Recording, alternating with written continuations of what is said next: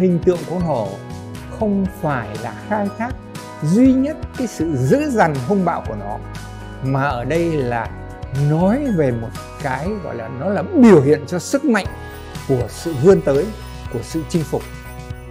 Khi nó đã là linh vật mà nó lại được làm bằng những chất liệu quý, thì bản thân những người sở hữu nó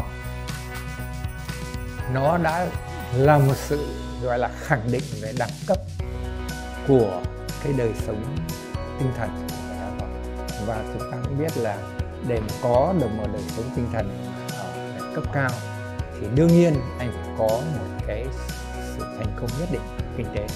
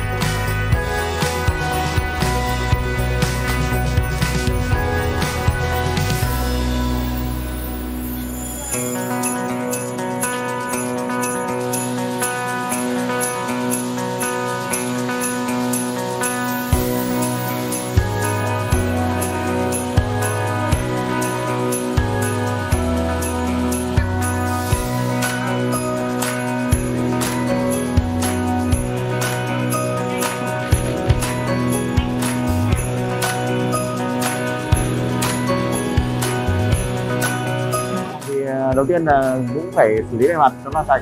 Sau đó mình ờ, phun một lớp lót những cơn lót để, thứ nhất là tạo độ bám dính ờ, và mình ờ, làm bề mặt cho nó nhắn rồi nhắn để cho nó sạch bề mặt đi.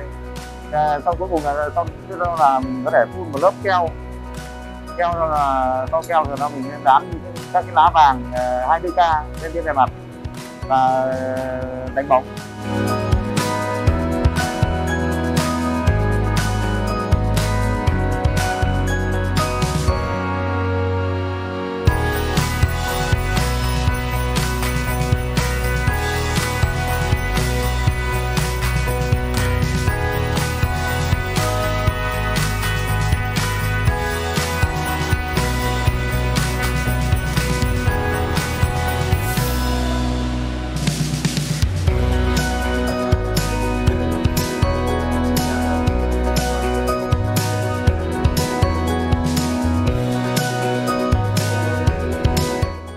Tượng hổ mà nó mạ vàng thì tức là cái chất liệu thì nó sẽ mang lại cái sự sang trọng.